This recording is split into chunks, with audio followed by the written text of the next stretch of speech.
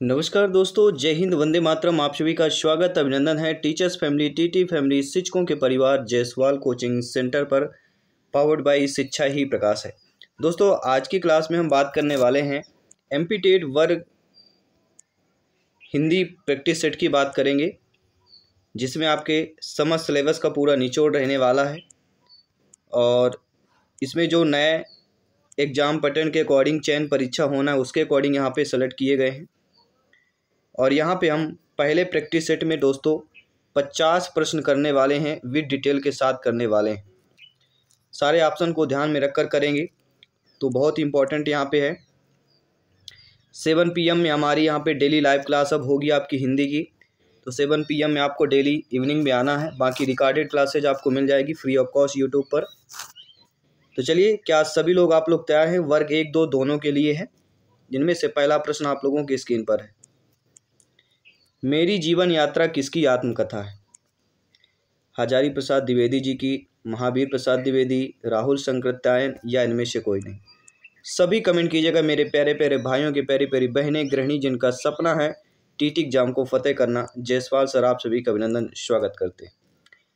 तो मेरी जीवन जो यात्रा है, यह किसकी आत्मकथा है? तो राहुल संकृत्यायन की।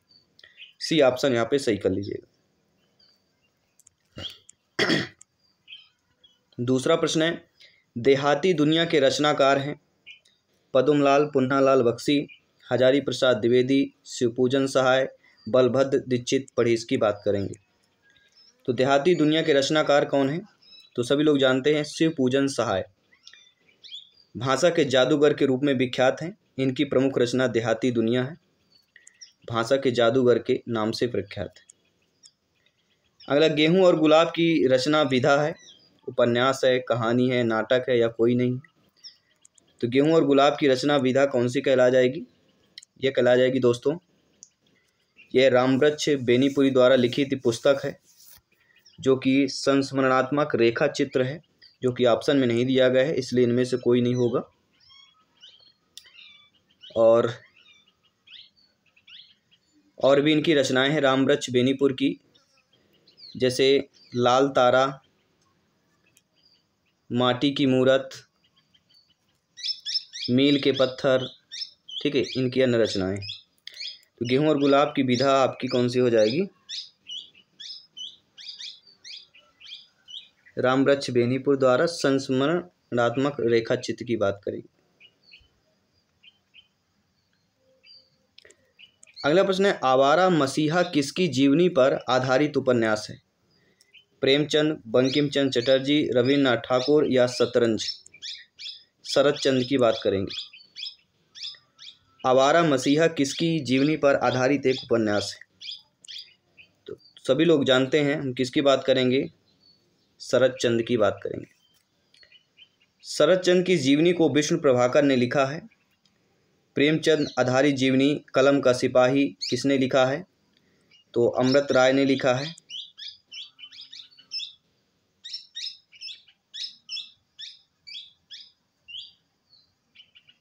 अगला प्रश्न देख लेते हैं। सीलाल शुक्ल की रचना कौन सी है? आषाढ़ का एक दिन, कटरा बियारजू राग दरबारी या आदमी का जहर? सीलाल शुक्ल की रचना कौन सी? राग दरबारी। विश्रामपुर का संत तथा आदमी का जहर। सीलाल शुक्ल एक प्रमुख कृतियाँ हैं। सी ऑप्शन यहाँ पे सही हो जाएगा। धर्मयुग पत्रिका के यशस्वी संपादक कौन थे? रघुवीर सहाय, सर्वेश्वर दयाल सक्सेना, राजेंद्र यादव या धर्मवीर भारती? सभी कमेंट कीजिएगा। धर्मयुग पत्रिका के यशस्वी संपादक की बात कर रहे हैं। सभी जानते धर्मवीर भारती।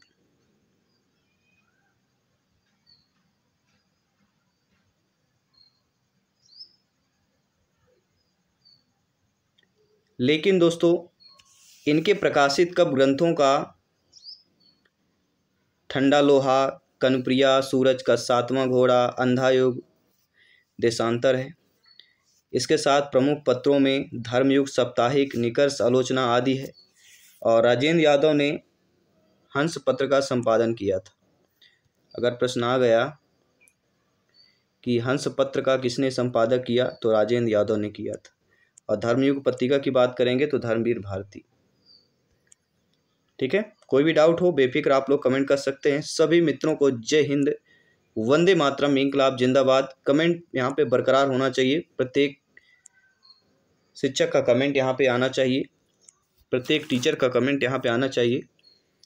दोस्तों, कुआनो नदी कविता संग्रह के कवि यहाँ पे पूछा जा रहा जी हाँ। कुआनो नदी कविता संग्रह के कवि कौन से हो जाएँगे?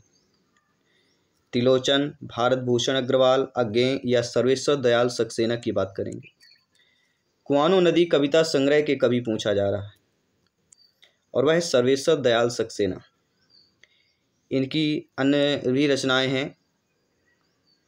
काठ की घटिया, बाँस का पुल, गर्म हवाएँ, जंगल का दर्द, इनकी अन्य रचनाएँ हैं। सर्वेश्वर दयाल सक्सेना जी की गली आगे मूर्ति है, इसके लेखक कौन है? सभी बताइए। गली आगे मूर्ति, इसके लेखक है शिव प्रसाद सिंह। यह क्या है आपका?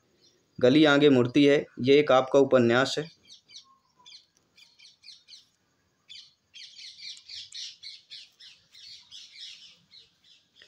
और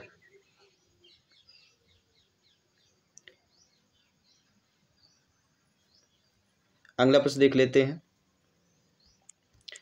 एक बूंद सहसा उछली की रचना विधा कौन सी है? एक बूंद सहसा उछली।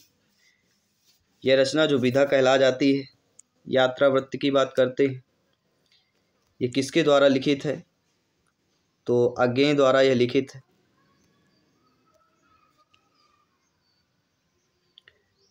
इनके अन्य यात्रावत अरे यायावर रहेगा याद, बहता पानी निर्मल है। इनके और भी यात्रावत है। बहता पानी निर्मल।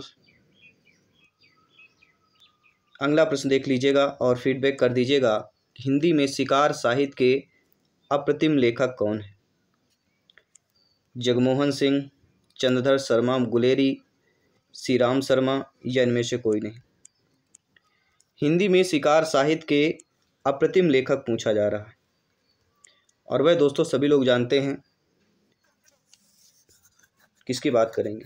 चंद्रधर शर्मा, गुलेरी या श्री राम शर्मा या इनमें से कोई नहीं, जगमोहन सिंह। देखिए, चंद्रधर जो शर्मा, गुलेरी जी ये कहानी साहित्य के अप्रतिम लेखक। और जगमोहन सिंह प्रसिद्ध एक उपन्यासकार है। जगमोहन सिंह क्या है? एक प्रसिद्ध उपन्यासकार है। और इनका प्रमुख उपन्यास श्यामा स्वप्न है। और हिंदी में शिकार साहित्य के अप्रतिम लेखक आपके श्री राम शर्मा जी। भारतेंद्र युग और हिंदी भाषा की विकास परंपरा के लेखक कौन है? राम विकास शर्मा जी। ये मार्क्सवादी समीक्षा के शिखर पुरुष हैं। इनकी और भी प्रमुख आलोचनात्मक कृतियाँ हैं। भारतेंदु हरिश्चंद्र, आस्था और सौंदर्य भाषा और समाज निराला की साहित्य साधना।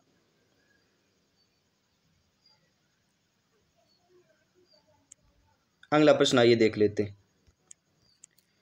आत्महत्या के विरुद्ध कविता संकलन के कवि कौन है? सर्वेश्वर दयाल सक्सेना, धर्मवीर भारती, रघुवीर सहाय या मुक्तिबोध?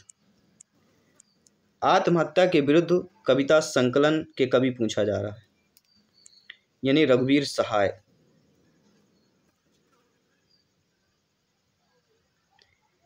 ये अज्ञे जी द्वारा संपादित दूसरा सप्तक के प्रमुख कवि हैं। इनकी प्रसिद्ध रचना है। सीढ़ियों पर धूप में हंसो हंसो और जल्दी हंसो तथा लोग भूल गए। इनकी अन्य रचनाएँ। रघुवीर सहाय की बात करेंगे। पृथ्वीराज की आँखें शीर्षक नाटक के रचयिता कौन है? पृथ्वीराज की आँखें। हम बात करेंगे राम कुमार वर्मा जी की। विजय पर रेशमी टाई, दीपदान, रजत रश्मि, इंद्रधनुष, रूप रंग, इनकी अन्य रचनाएँ हैं आपकी। राम कुमार वर्मा जी की। साथ ही पृथ्वीराज की आँखें भी इनकी शीर्षक नाटक के हैं राम कुमार वर्मा जी। चारु चंद्रलेख के उपन्यासकार कौन है? जी हाँ चारु चंद्रलेख तो सभी लोग जानते हैं हम किसकी बात करेंगे। चारु चंद्रलेख के उपन्यासकार हजारी प्रसाद द्विवेदी जी। बाण भट्ट की आत्मकथा, अनाम दास का पोथा अन्य रचनाएँ इनके। निम्नलिखित में से तार सप्तक में कौन कवि शामिल नहीं था? देखिए, तार सप्तक का प्रकाशन अज्ञे अज्ञे के संपादकत्व के हुआ था समय। और वह समय था उन्नीस में हुआ था। इसमें प्रभाकर माचवे, नेमिचंद जैन, भारत भूषण अग्रवाल, ये तीनों तार सप्तक में कवि में शामिल थे। लेकिन रामधारी सिंह दिनकर जी आपके शामिल नहीं थे। प्रभाकर माचवे, नेमिचंद जैन, भरत भूषण अग्रवाल प्रथम तार सप्तक के कवि थे। आधा गाँव के लेखक कौन? आधा गाँव के लेखक राही मासूम रजा। यह आंचलिक उपन्यास है। राही मासूम राजा की अन्य भी रचनाएँ हैं। एक है टोपी शुक्ला, ओस की बूंद, हिम्मत जौनपुरी, दिल एक सादा कागज़। दिल एक सादा कागज़ भी आपके राही मसूम रजा जी की रचना। इंदुमती कहानी के लेखक कौन है? हिंदी की प्रथम कहानी इंदुमती है, जिसे 1909 में सरस्वती पतिका में प्रकाशित हुआ था, जिसके लेखक है किशोरी लाल गोस्वामी जी। निषाद बांसुरी की रचना विधि बताना है। रेखाचित ललित बंध कहानी या संस्मरण की बात करते हैं। निषाद बांसुरी की रचना विधा पूछा जा रहा है। तो वह हो जाएगा, दोस्तों, क्या हो जाएगा? ललित निबंध। प्रमुख ललित निबंधकार कुबेरनाथ के प्रमुख निबंधों में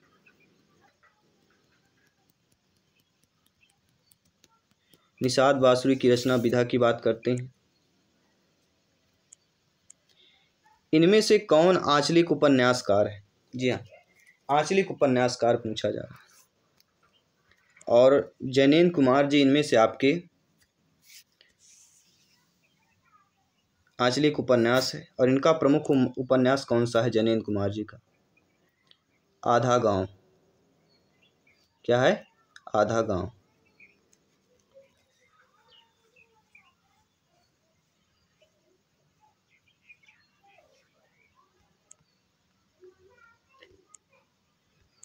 आइए बात करते हैं अगले प्रश्न की।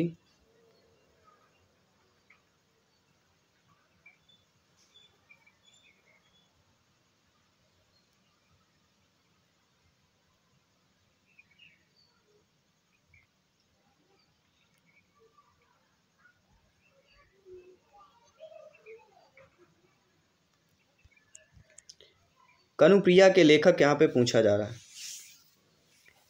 तो कनुप्रिया के लेखक की बात करते हैं धर्मवीर भारती। ठंडा लोहा, इनकी रचना है।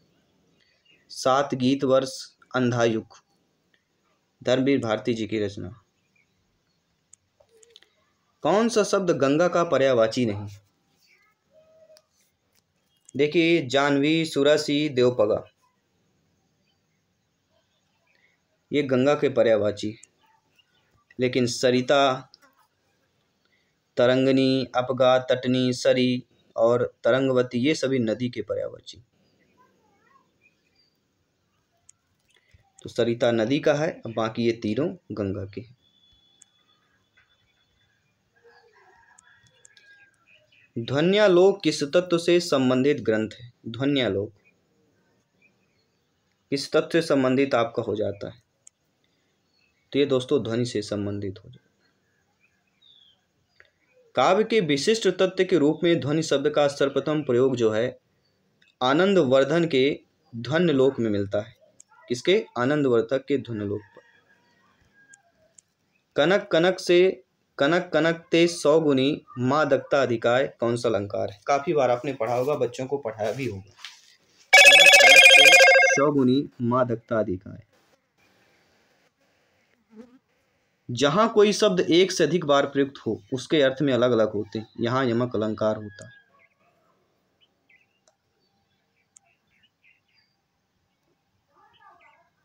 अगला प्रश्न देखिएगा। टेढ़े मेढ़े रास्तक के लेखक कौन है? टेढ़े मेढ़े रास्तक के लेखक भगवती चरण वर्मा की बात करते पाल गोमरा का स्कूटर कहानी के लेखक कौन है? वह दोस्तों हैं उदय प्रकाश।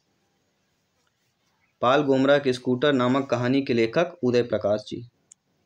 सी, ऑप्शन सही कर लेना। नए इलाके में किसकी काव्य कृति है? तो नए इलाके में दोस्तों, अरुण कमल। अरुण कमल की रचना हो जाएगी नए इलाका। निम्नलिखित में से कौन सा मार्क्सवादी विचारधारा का आलोचक नहीं? देखिए, मार्क्सवादी विचारधारा का आलोचक नामवर सिंह शिवदान सिंह चौहान और रामविलास शर्मा जी। लेकिन विजय देव नारायण शाही, ये मार्क्सवादी विचारधारा के आलोचक नहीं।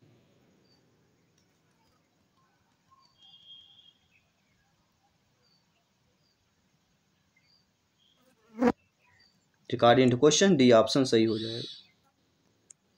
अगला, संविधान के अनुच्छेद तीन सौ इक्यावन में किस विषय का वर्णन किया गया है? तो सभी जानते हैं, हिंदी भाषा के विकास से संबंधित निर्देशों। डी, ऑप्शन सही हो जाए। निम्नलिखित में से वर्तनी की रस से शुद्ध शब्द का चयन करिए।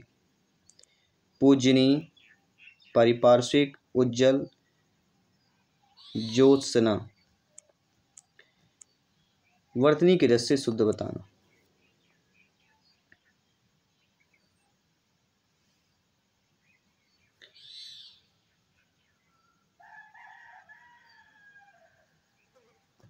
तो यहाँ पे वर्तनी के रस से शुद्ध हमारा परिपार्श्विक। ऑप्शन सही हो जाए। अगला स्वार्थ का विलोम कौन सा होता है? तो स्वार्थ का विलोम परमार्थ। स्वार्थ मतलब स्वयं के लिए, परमार्थ मतलब दूसरों के लिए।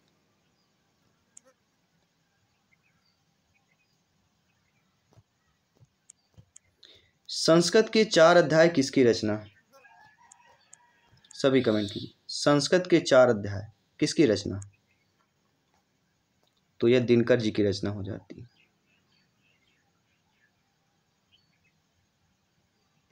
डी ऑप्शन सही हो जाएगा। जुलूस उपन्यास के लेखक कौन है?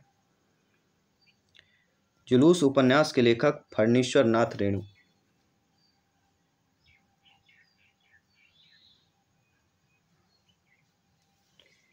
देखिए दोस्तों,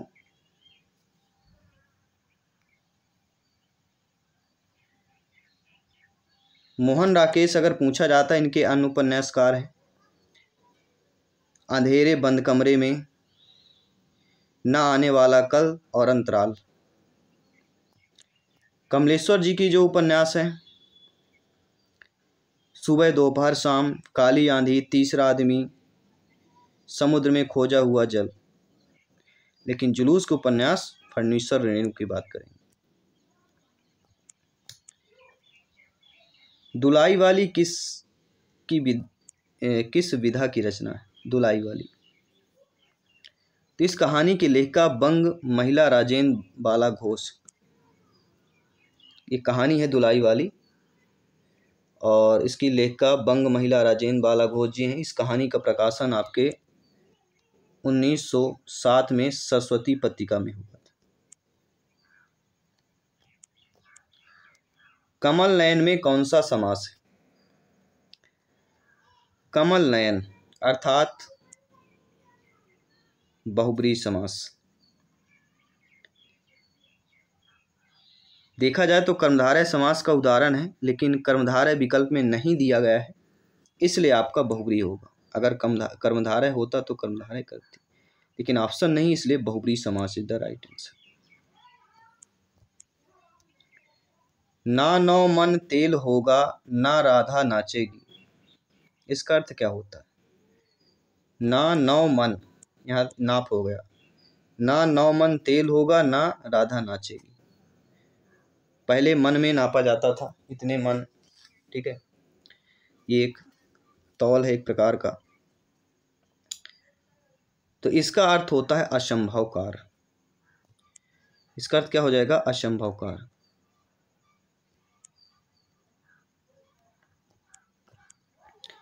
बकरी नाटक के रचयिता कौन है? मोहन राकेश उपेंद्र नाथ अस्क, हबीब तनवीर या सर्वेश्वर दयाल सक्सेना। बकरी नाटक के रचयिता। सर्वेश्वर दयाल सक्सेना। प्रसिद्ध नाटक बकरी एवं कल भात आएगा। बकरी के साथ एक और इनकी प्रसिद्ध नाटक है। कल भात आएगा।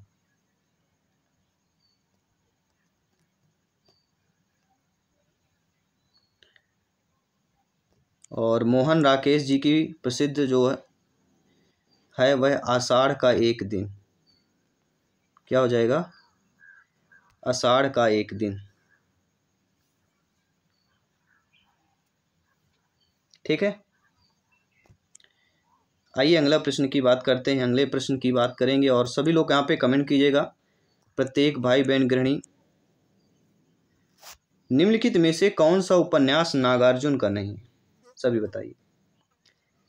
देखिए दोस्तों बलचनमा रतिनाथ की चाची, वरुण के बेटे। ये तीनों जो हैं आपके नागार्जुन की। लेकिन प्रति परिकथा प्रति परिकथा, मैला, आंचल, जुलूस, चौराहे, ये फर्नीचर रेन के उपन्यास हो जाएँगे। ठीक है? अगला भूल गलती कविता के कवि कौन है? भूल गलती। नागार्जुन, त्रिलोचन, केदारनाथ अग्रवाल या मुक्तिबोध? भूल गलती कविता के कवि पूछे जा रहे हैं। वह होता मुक्तिबोध। जी हाँ दोस्तों।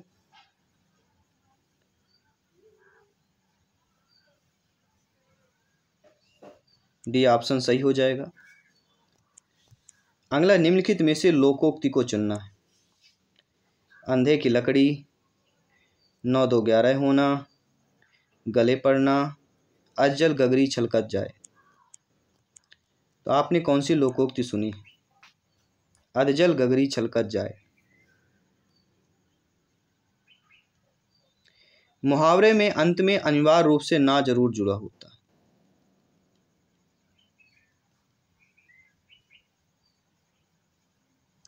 लोकोक्ति में ना नहीं जुड़ा होता। ये अगर मुहावरा दिया गया तो ना ज़रूर जुड़ा होगा, बल्कि लोकोक्ति में ऐसा नहीं होता। ये बड़ी पहचान है।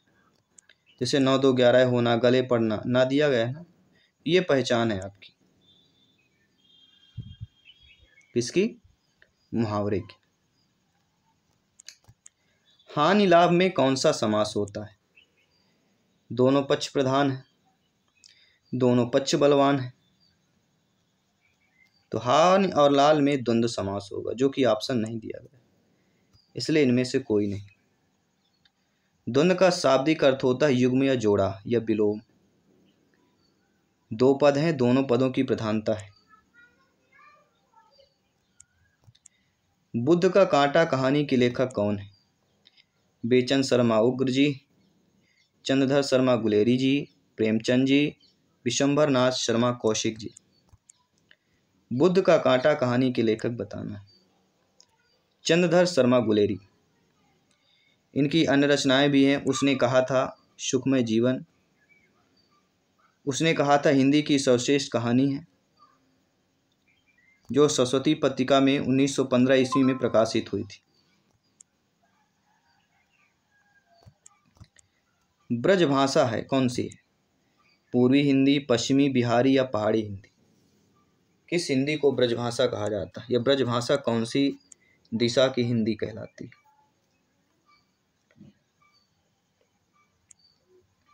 तो वह दोस्तों पश्चिमी हिंदी। पश्चिमी हिंदी की प्रमुख बोलियाँ खड़ी बोली है, ब्रजभाषा है, हरियाणी, कन्नौजी है। और पूर्वी में क्या बोली जाती है? अवधि, बघेली, छत्तीसगढ़ी। बिहारी में क्या बोली जाती है? मैथिली मगही भोजपुरी। और पहाड़ी बोली, गढ़वाली, नेपाली बोलियाँ आदि आती। अनंत का सही संधि विच्छेद क्या होगा? अनंत। अनंत मतलब अनधन अंत यह व्यंजन संधि का उदाहरण है। और व्यंजन के साथ स्वर अथवा व्यंजन के मेल से जो रूपांतरण होता है, उसे व्यंजन संधि कहते हैं। भी ऑप्शन सही हो जाएगा। निम्नलिखित उपन्यासों में से प्रेमचंद का अंतिम उपन्यास बताइए। सेवा सदन प्रेमाश्रम, निर्मला या गोदान? प्रेमचंद की अंतिम उपन्यास बताइए। और वह गोदान? प्रेमचंद का प्रथम प्रौढ़ी हिंदी उपन्यास कौन सा है? प्रथम है आपका सेवा सदन जो कि 1918 में आया था। और अंतिम उपन्यास है गोदान। ठीक है तो दोनों चीज़ें आपको समझ लेना। निम्नलिखित में से शुद्ध वाक्य को चयन करना है। राम रोटी खाया है, राम ने रोटी खाया है, राम ने रोटी खाई है, राम रोटी खा लिया है। शुद्ध वाक्य बताना।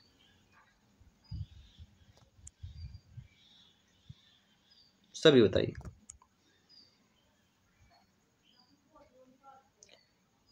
तो राम ने रोटी खाई है। C option is the right answer अगला प्रश्न है, नेताजी कहिन के लेखक हैं। रविंद्र कलिया जी रविंद्र नाथ त्यागी जी श्री लाल शुक्ल जी, मनोहर श्याम जोशी की बात करेंगे। नेताजी कहिन के लेखक यहाँ पे कौन सा हो जाएगा? तो मनोहर श्याम जोशी की बात करें। जी हाँ नेताजी कहिन के लेखक मनोहर श्याम जोशी की बात करें। अगला, निम्नलिखित में से कौन सा छंद दोहा का विपरीत छंद है? रोला, चौपाई छप्पय या इनमें से कोई नहीं कौन सा छंद दोहा का विपरीत छंद हो जाता है? देखिए, दोहा का विपरीत छंद क्या होता है? वह होता है सोरठा। दोहा का विपरीत छंद होता है सोरठा, जो कि ऑप्शन में नहीं। दोहे के विषम चरण में, यानी पहले और तीसरे में तेरह तेरह और सम, यानी दूसरे और चौथे में गेरा गेरा मात्राएँ होती उसी प्रकार सोरठा में विषम में गेरा गेरा यानी पहले और तीसरे में गेरा और दूसरे चौथे में तेरह तेरह विपरीत होती तो दोहा में तेरह गेरा और सोठा में गेरा तेरह चलता। ठीक है? निम्नलिखित में से किस लेखक को ज्ञानपीठ पुरस्कार नहीं मिला? सभी बताइए। देखिए दोस्तों, दिनकर को उर्वशी के लिए उन्नीस सौ बहत्तर ईस्वी में मिला था। नरेश मेहता जी को हिंदी साहित्य में योगदान हेतु ज्ञानपीठ पुरस्कार दिया गया।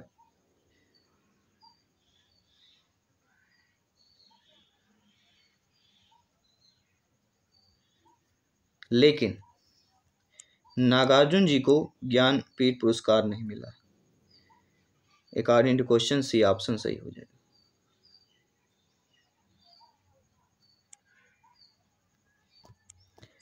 बाल्टी कैसा शब्द है?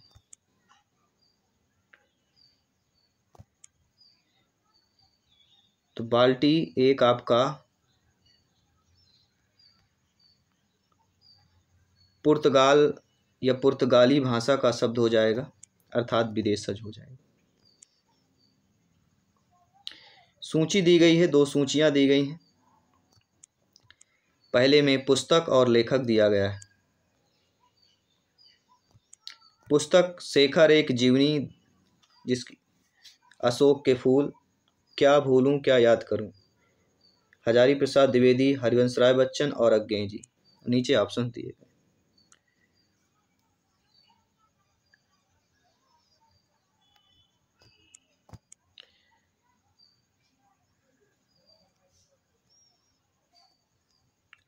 शेखर एक जीवनी जो है अज्ञे जी की है।